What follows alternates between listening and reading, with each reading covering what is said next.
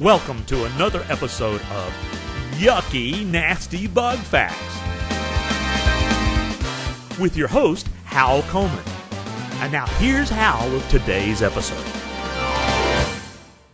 Hello, folks. This is Hal Coleman with another episode of Yucky Nasty Bug Facts.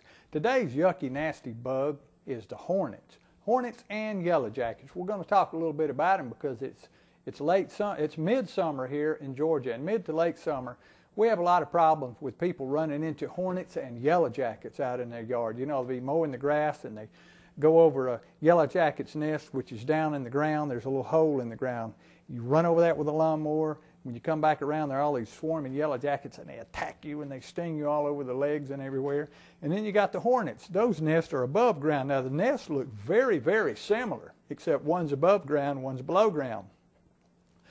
This is the bald-faced hornet. These three, there are two different species of hornets here, but they're black and they have white faces, little white rings around the abdomen. These two brown ones are European hornets. Euro, European hornets. They live in hollow trees.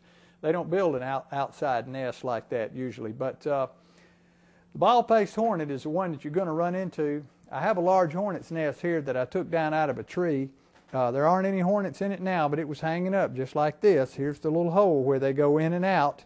And this is just a large upside down teardrop paper. Con- it's constructed out of a paper that material that they use. Uh, they construct it from uh, actually plant material, mix a glue with it, and they build this nest. Large hornet's nest. You see one like this hanging in your yard, don't mess with it. If they're up really high and they're out of the way and you're gonna, not going to bump into them, uh, enjoy them. You know, watch them. Watch them build the nest. Watch it get bigger and bigger. It's kind of a conversation piece. Sometimes it might be built right in the corner of a window, and you can really watch them. But if they're down near, uh, say, in a shrub, and you might be mowing the lawn, and you might run into them, you might encounter them in their flight path. Uh, you might want to think about getting rid of them because they can sting you pretty bad.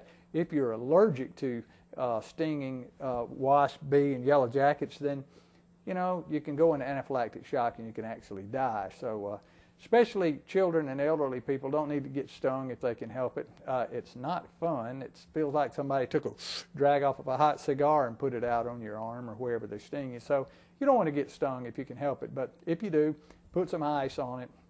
It'll be okay unless you're allergic.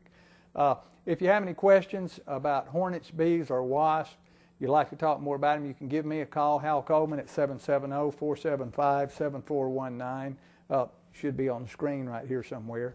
Or you can check out our website, northfultonexterminating.com.